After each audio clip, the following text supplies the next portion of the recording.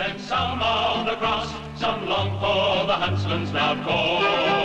But where can be found such a musical sound as the old rugby cry on the ball? On the ball, on the ball, on the ball, through scrum, it's three quarters and all. Sticking together we keep on the leather and shout as we go on. On wintry day when the ball is away, let sluggards at home then remain. We'll kick and we'll follow, we'll run, pass and call as we shout the same merry refrain. On the ball, on the ball, on the ball, through scrum it's three quarters and all. Rugby is defined in the Oxford Dictionary as a form of football where the ball may be carried. But in New Zealand it has a much deeper meaning. It's the national winter game and does have an impact on the national character. Wherever there's a group of New Zealanders, someone will set up goalposts to have some sort of game. Maoris have contributed a lot to the style of play. Many of the greatest stars in representative teams have been Maori players. The majority of New Zealanders grow up with rugby, and every Saturday during the winter, literally thousands of teams take to the fields to play what appears to the uninitiated a strange game.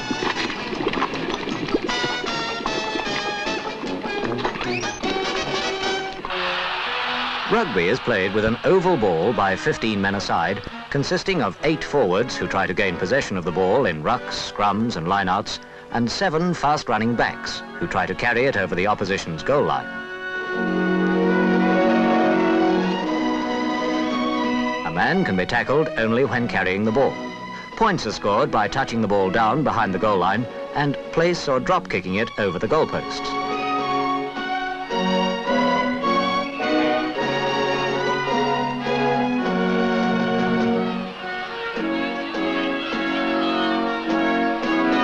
Started in 1823, when a pupil of Rugby College, England, William Webb Ellis, ran with the ball during a traditional game of soccer and started the now famous game of rugby.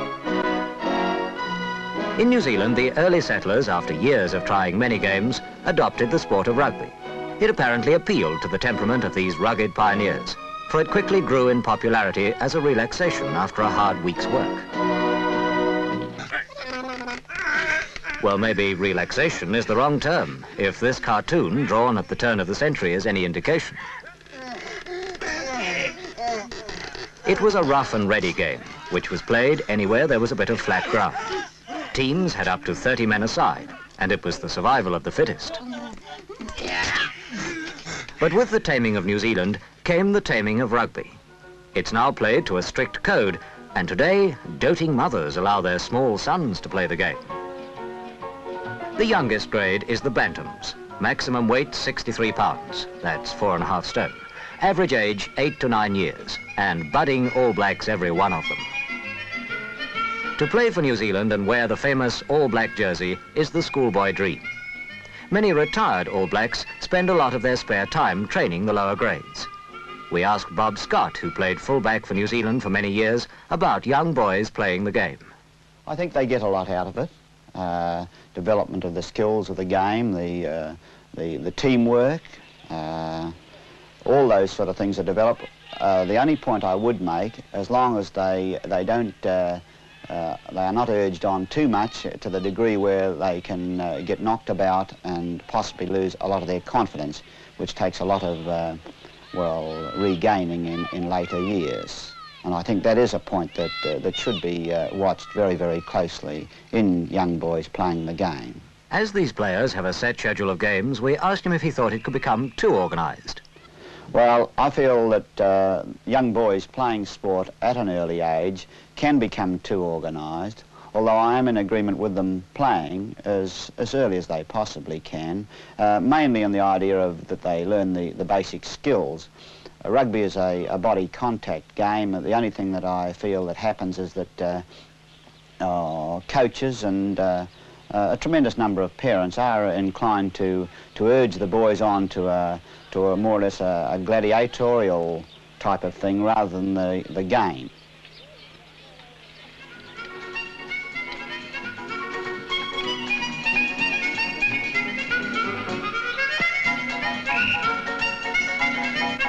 A father can always see all black potential in his son.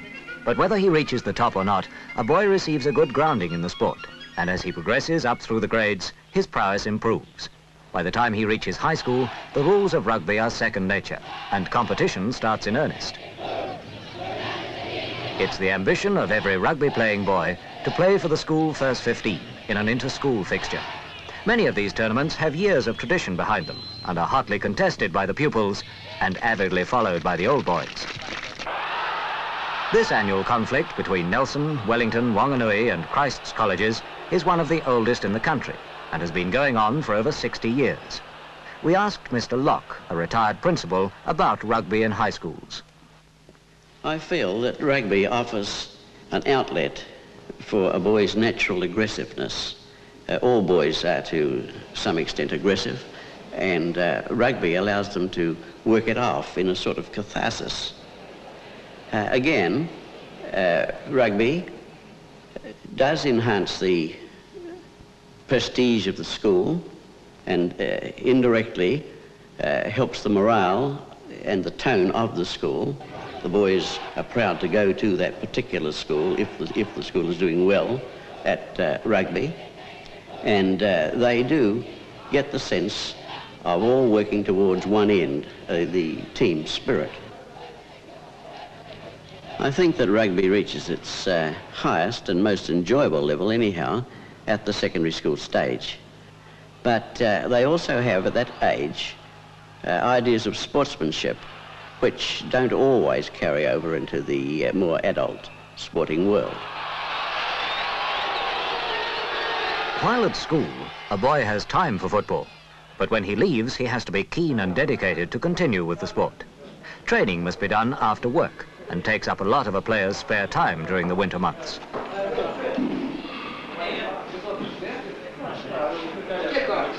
Club rugby is a great social leveler. It's a man's ability on the field that counts. Men from all walks of life come together as equals, all working together, trying to improve their rugby and the club's success. The first requirement of a rugby player is that he's fit. Training normally starts with a warm-up and the boys throw the ball around a bit. For this, the team works together as all players must be able to handle the ball.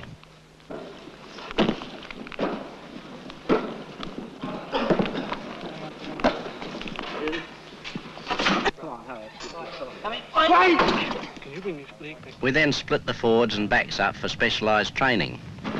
The scrum machine is very handy as it allows the backs to get on with their work instead of just acting as an opposition scrum. Come on, back up. you can't Most clubs in the cities have floodlit practice grounds where training can continue on winter nights.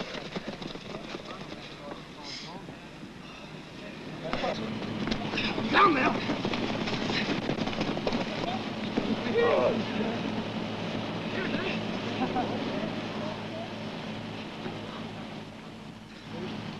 An important part of the training is to work out situations the boys will come up against in their game. This teamwork is the basis of rugby. 15 blokes working for the one end.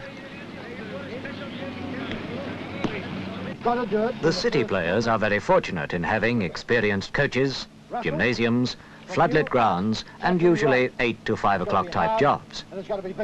These boys are lucky, but rugby is also very popular in the country areas allowed one player to run and run and run all day. Now that's up to the forwards and up to the backs.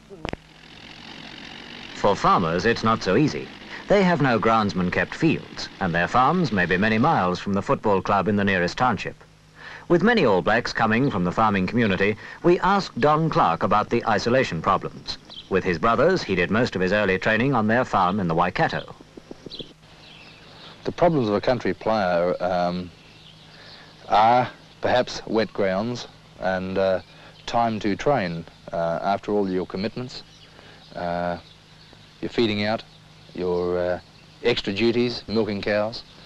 Uh, there's a lot to be done on a farm and uh, to, to endeavour to try and make time in training after a very wet season, to finish milking early and to get out before the it gets really dark it's, it's very awkward, but I found that the only way to overcome it was to uh, um, train irrespective.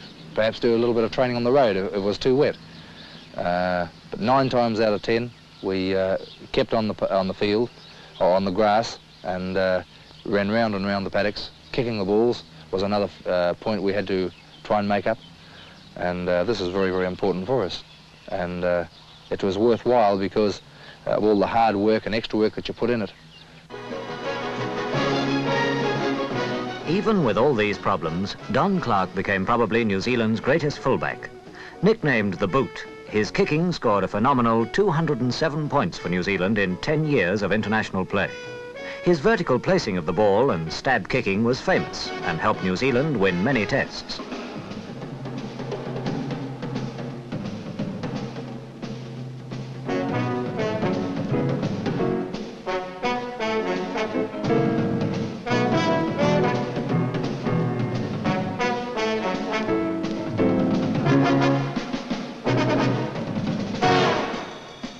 International honours, many try, but obviously not all are chosen. Oh, I think I play rugby because I enjoy it, and I think it tends to create good team spirit and sportsmanship among your fellow players. I play rugby because I think it's the most invigorating game of all that I've actually played. Oh, because I enjoy it, because of the physical exercise I get out of it, and keeps my body in decent health. Oh, well, I think it's the enjoyment you get out of it, really. And uh, I feel it keeps me out of mischief too if I'm training two nights a week and game on Saturday. It keeps me healthy. Well, mainly because it's a, a manly game. Uh, it uh, requires uh, a, a lot of uh, physical contact with the opposition, uh, and it requires a lot of teamwork and the effort to uh, sort of outwit your opponents. Um, gives a, one a tremendous amount of thrill. It's a hard sport, and I think it's a real man sport, and the hard knocks and that you get that adds to the enjoyment of the game. Uh, besides that, uh, uh, you go out in a paddock, especially forward, you get a bit worked up and get rid of a bit of steam off your chest. And afterwards, you're the same bloke, but you had a big argument with, you can go down there, down to the gym, have a few beers with him and, and, uh, and shake hands. And after the game, you're all such jolly good friends afterward, you, you don't really realise you've been belting somebody else around. And because of this, it uh, gives you a, a, better outlook on life. You don't go down the street possibly uh, looking for a fight in particular. You've already had it, uh, in a sense, on, on the rugby field. Every year, spectators see players carried off the field, some never to play the sport again. We asked Don Clarke, who retired because of an injury, about this problem. It has been said that rugby is a, a, a pretty rough game. Well, in actual fact, it's, it's not. Uh, the fitter you are, the, the better the knock or the harder the knock you can take. And also, um, I feel, as I said before, it's very, very important that you have a few uh, of these edges knocked off you. Um, any bodily contact game is reasonably hard, but um, th this is the important thing. Uh, uh, disputing possession in the line-out, uh, hard, rugged tackling, hard rucking, is all important uh, fact of the game. But the number of players that play it and the number of players that get hurt would be, uh, well, uh, out of all um, thoughts of this game being rough in any way at all.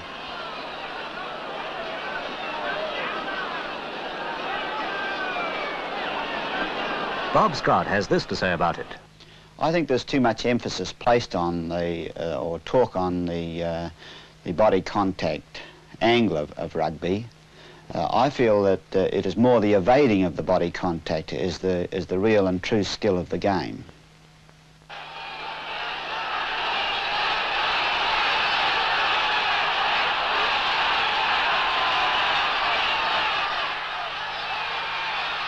By the time a player has reached first-class club rugby, he is more than keen and usually has his sights set on improving his game and playing for his province in a Ranfurly Shield challenge. The Ranfurly Shield, affectionately known as the Log o' Wood, is the country's premier trophy in interprovincial rugby and is competed for on a challenge basis. Every weekend during the latter part of the football season, a challenging team with supporters invades the holders of the Shield's territory in an attempt to take it home. Rugby fans will travel hundreds of miles to see a challenge and are not backward in showing who they support.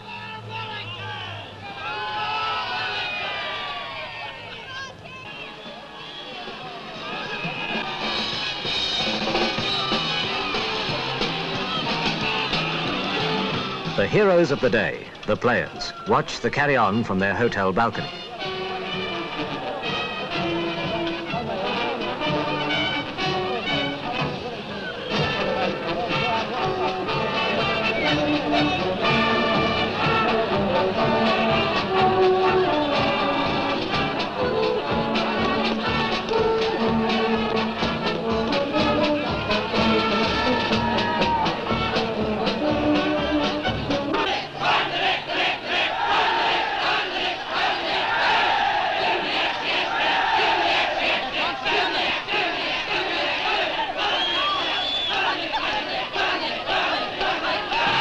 After the morning procession, which is a show of strength by the supporters, most of them make for the nearest hotel to await the start of the game and the hijinks carry on.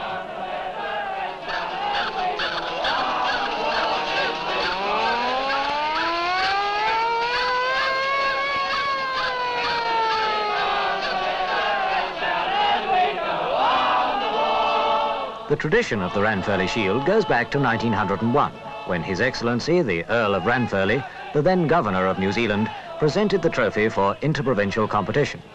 Many fans consider a Shield game an ideal opportunity for a good time. Others treat the game with its true reverence, and as the stands fill up, the teams are given their last-minute instructions. The team talk is a serious business, the coach trying to talk his troops into giving everything in the ensuing battle. It's not necessary for me to tell you blokes just how important this game is. Now we've got the advantage of having the wind in the first spell and we'll use it. We'll use everything in our power to dominate this game and get the points that we need. Now the ball coming in from the wing three quarters have got to go to our line out forwards and go just exactly as we want it. And when we get it, Nev, we want you to use that ball, get it back to ice at half-back, and then ice, you judge the play. The good stuff you'll put out through our backs and we'll use it to the best advantage that we possibly can. Anything that's scruffy, slam it away to touch and we'll start the thing over again. Now these blokes have got a tremendous pattern. And their pattern of play, we've got to upset. So any ball that they win in the line-out, any of their line-out ball, has got to be put on the deck. Put the player on the deck, put the ball on the deck, and you've got to get through. Now, Junior, if you can't get through, if you can't get your body through, put your dirty big number nine through, right under his nose. Any of that ball that their halfback gets, I want the ball and two men with it. Now, don't let them get away with this. Pressure then from our uh, back of our line out onto their five eights, so that any of that scruffy ball gets lost out there, gets put on the deck, and then, Graham, you've got to be in on it in a flash. Up with it, Freddie, and that ball that they've won, we want to get that ball and we want to use it. Righto?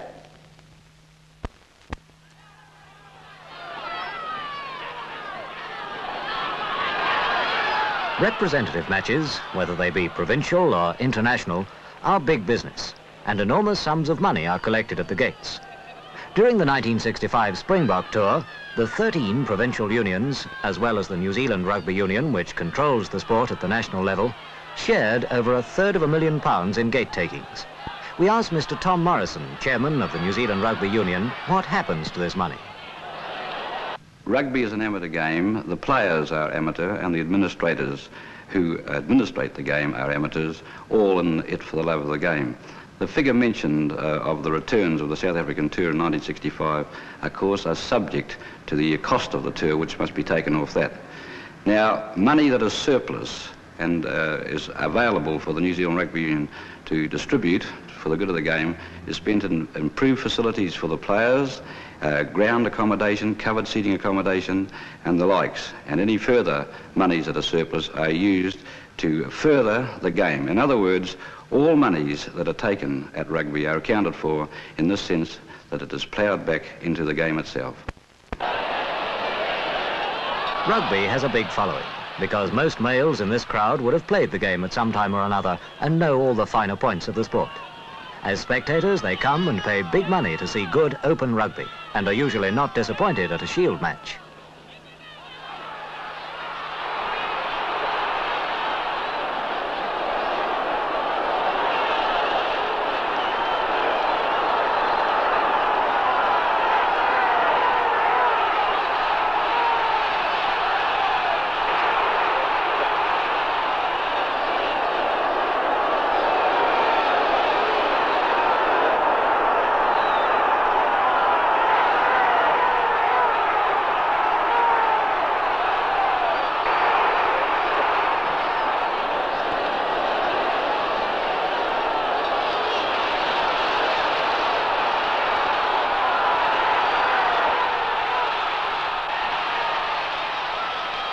But shield fever is only a mild complaint compared to the performance when an international team touring the country is about to play a test match. Normally sedate New Zealanders about this time go slightly crazy and do the most extraordinary things to guarantee they will see the big match. Some of them will sleep outside the ground so that they can get their pet place on the terrace when the gates open.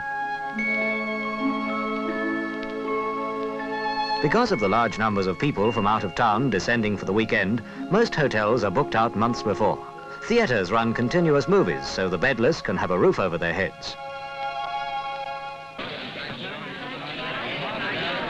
These small discomforts don't worry the enthusiasts, who can always fill in time by talking about their theories and who should be in the team, etc.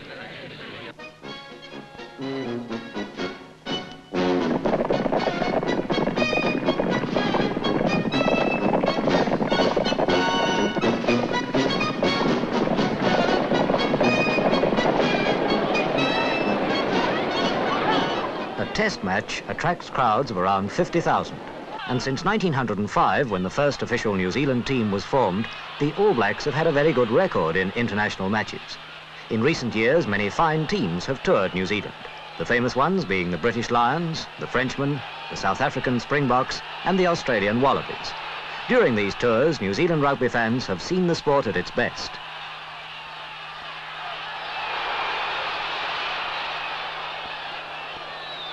Let's see how the world's top players have thrilled the crowds in some test matches played in New Zealand in recent years.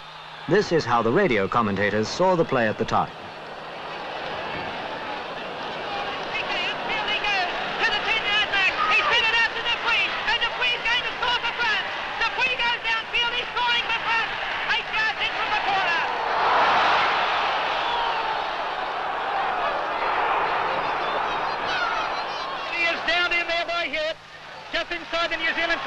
Conway tries to get it out on the far side, and then uh, so too does Tremain, and there's another one in here now. It's a try.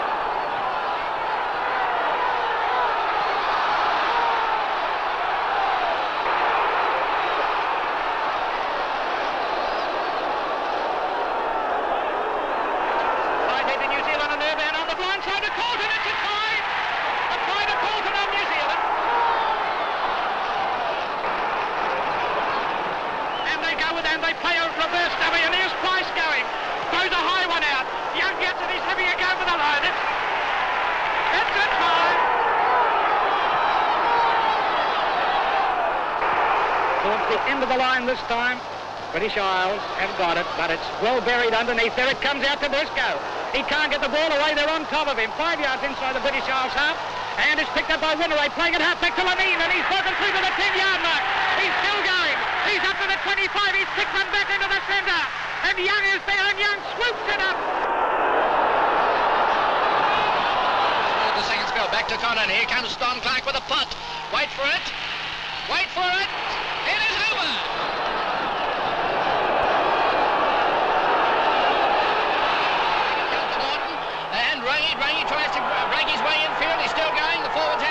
short of the goal line. Now they're rocking, but over the top of this one they go.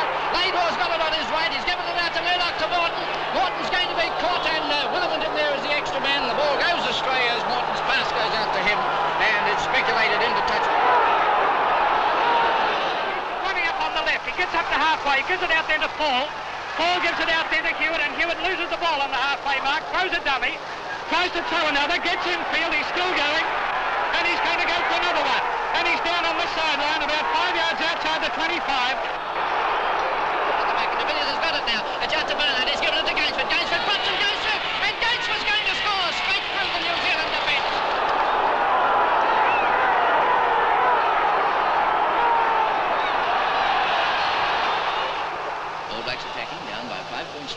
41 minutes gone.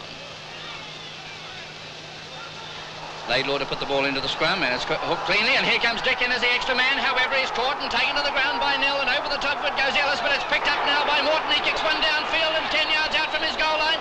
Wilson can't take it on first bounce and then dives on the ball. There's a great for it. It's a try. Come long for the huntsman's loud call. But where can be found such a musical sound as the old rugby cry on the wall? On the ball, on the ball, on the ball scrum, it's three quarters and all. Sticking together, we keep on the leather and shout as we go on the ball. On a cold wintry day when the ball is away, let sluggards at home then remain. We'll kick and we'll follow, we'll run, pass and call as we shout the same merry refrain. On the ball, on the ball, on the ball scrum, it's three quarters and all. Sticking together, we keep on the leather and shout as we go on the ball. This life's but a scrummage, we cannot get through, but with many a kick and a blow. And then in the end, though we dodge and we fend, still let your collar death days us go. On the ball, on the ball, strummets, three quarters and all. Sticking together we keep on the leather and shout